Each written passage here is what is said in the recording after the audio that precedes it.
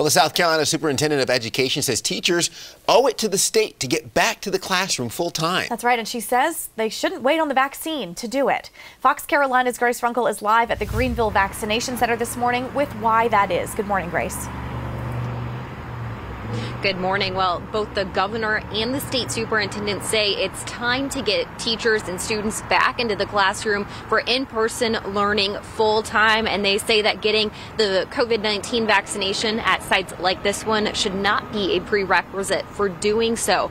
Now, several school districts and different groups across the state have called upon the governor and the state superintendent to prioritize teachers for vaccinations. That came after McMaster expanded eligibility to those 65 and up, but the governor says that's not going to happen for teachers just yet. State Superintendent Molly Spearman says her job is to advocate for teachers and students, but she does agree with the governor, and Spearman says the districts owe it to the state to return to full in person learning.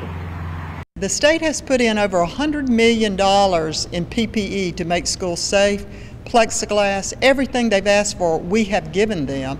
And I think those teachers who signed those contracts owe a responsibility to come to work and do what they should. Spearman says 646 schools are back to full in-person learning in areas where the COVID-19 spread rate is still high, but DHEC has not traced any major breakouts to a classroom. Coming up in the next half hour, we're going to tell you what one local educator has to say about the governor and the state superintendent's message. We're also going to tell you how many teachers across the entire state say they're ready to get vaccinated as soon as possible. Margaret Ann.